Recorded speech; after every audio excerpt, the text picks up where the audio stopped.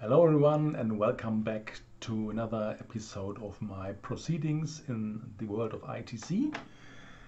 Um, you remember maybe from my last video that I showed you this device here. Um, I call now the InClip, the inverse clipper.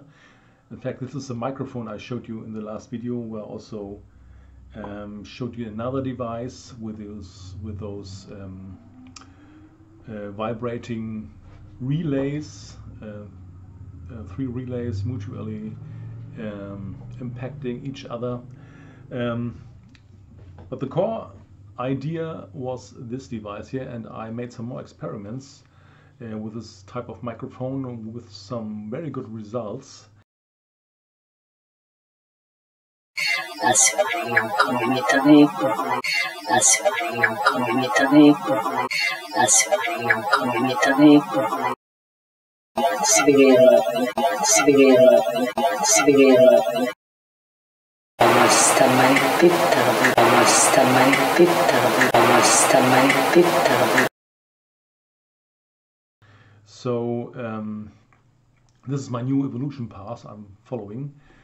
to um, exploit all the possibilities of this little circuit here.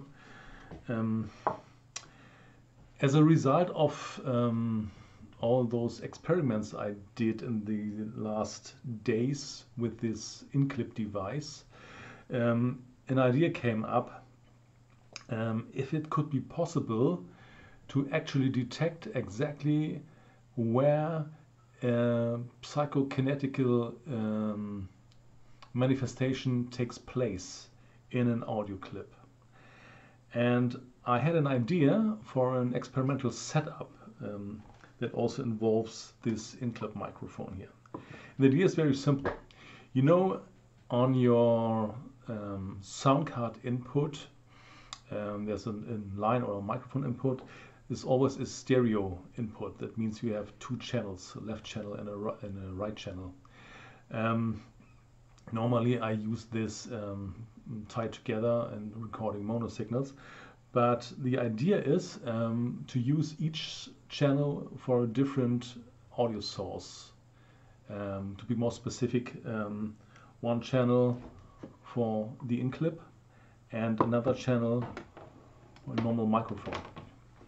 And I made myself this thing here. This is a little splitter so I can plug in the cable from my sound card.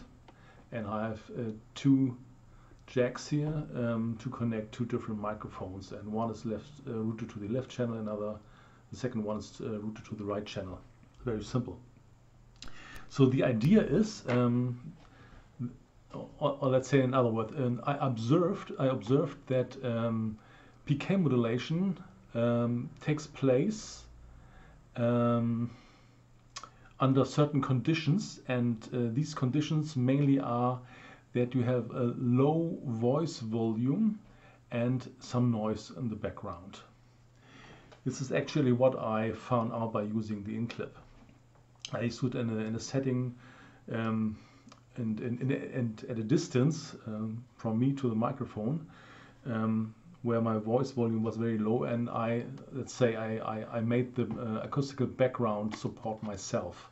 So I, um, I, I made some natural speech and also um, tried to uh, articulate uh, random phonemes like you know from those ghost boxes where, where, you, these ghost boxes are let's say uh, talking rubbish and this rubbish is converted into some kind of PK uh, um, manifestation and spirit voices. Um, yeah, so um, the idea is to um, put one channel, uh, connect one channel to this device and um, put it at some distance from myself and the second microphone, this, uh, this one here, connected to the other channel, very close to my mouth. everything, every kind of speech that is uh, uh, has a high volume and is, is um, spoken very uh, explicit and accurately will not contain any PK modulation. PK modulation only takes place when the voice is a low volume, fragile and is intermixed with noise. So that means on one channel we could record, let's say, the unaffected source, and on the second channel the PK modulation.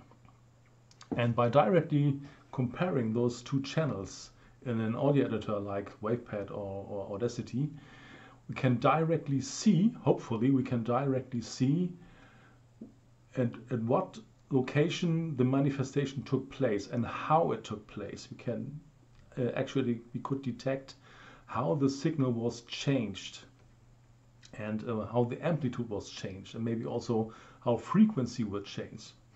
So this opens up um, a way to to do a research that goes deeper in the let's say the nuts and bolts uh, of the physical manifestation of spirit voices. And this is what I'm actually planning to do. And because the setup is very simple, um, and I have all here um, I need to to make this real. Um, this is my idea, and I want to do this now. Okay, so we're ready to start. Um, I decided to bring you the words of the Psalm 23 of David because I found it very suitable. And I will directly talk now and the, my voice will be picked up by this microphone directly and then by the in-clip at a distance of uh, roughly 80 centimeters setting uh, with a setting to with threshold just about triggering when my voice starts speaking. Okay, so now let's concentrate, calm down. I have set up the threshold of the in-clip microphone to a level where it's just about to trigger depending on the volume of my voice. My window is open so we get also some background noise from the outside. I think this is a perfect condition. And now we're going to start.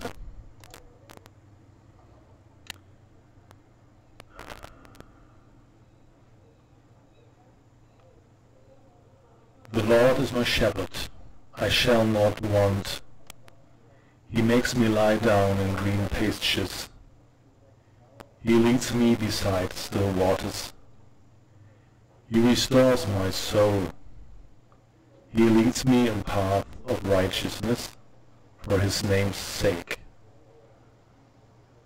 Even though I walk through the valley of the shadow of death, I will fear no evil, for you are with me.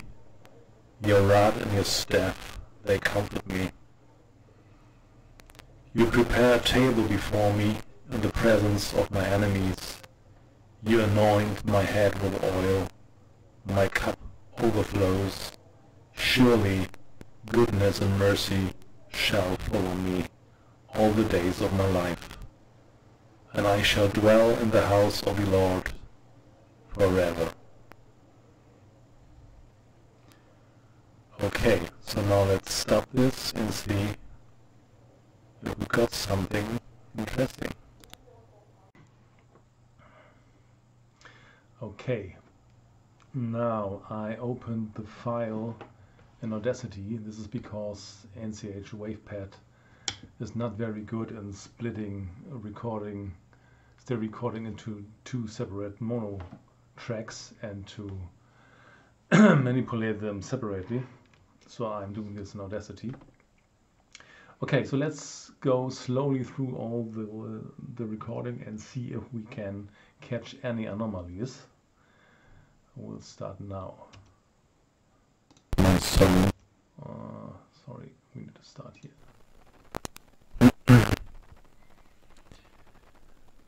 the Lord is my shepherd,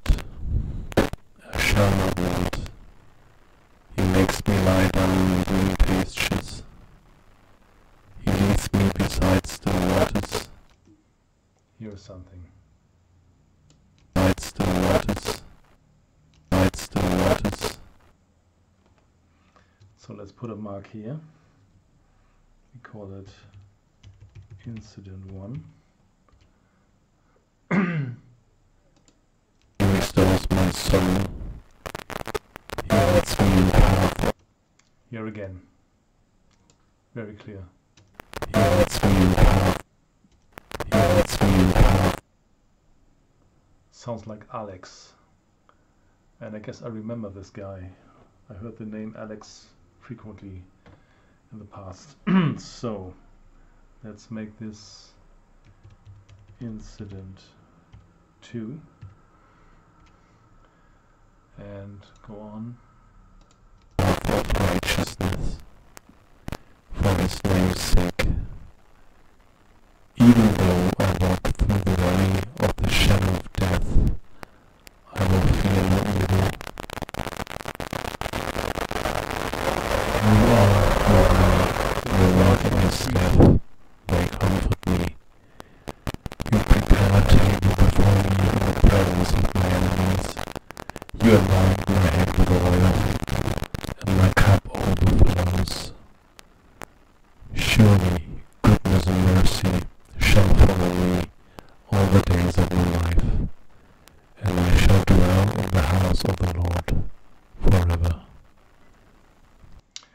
So I'm now digging deeper into incident number one and uh, I highlighted the region where the PK event took place.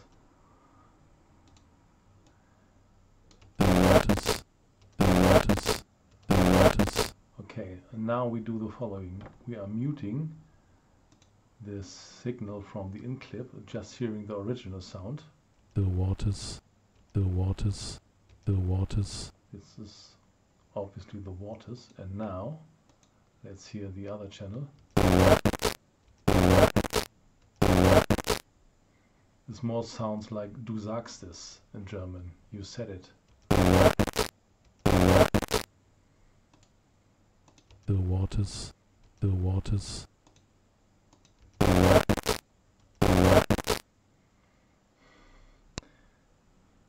Cool. Now let's do the same with the uh, second incident.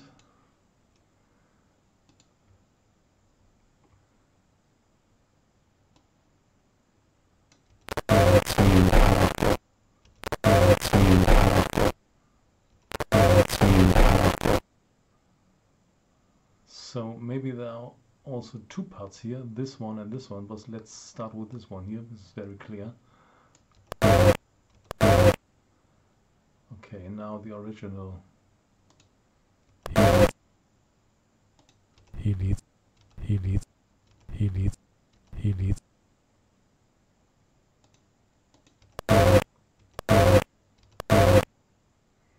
This is very clear. he needs, he needs, he needs, This is original He source.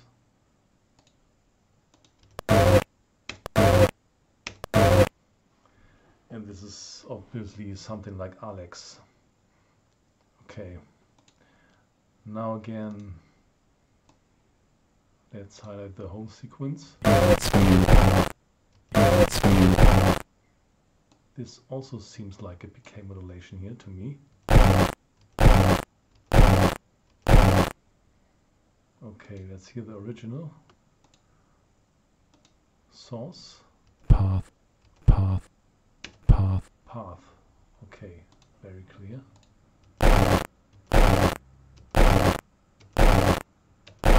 This is different. I don't really understand what it is, but it's different.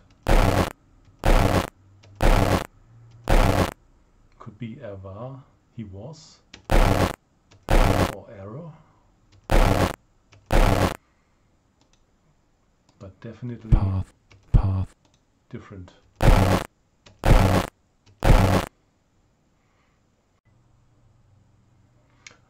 Think this was pretty amazing. Um, the first time in my life I could directly see how a PK modulation took place compared to the original source.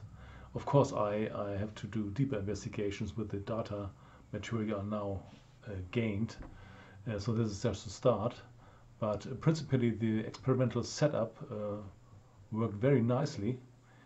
And um, I hope you are fascinated as I was, well, as I am.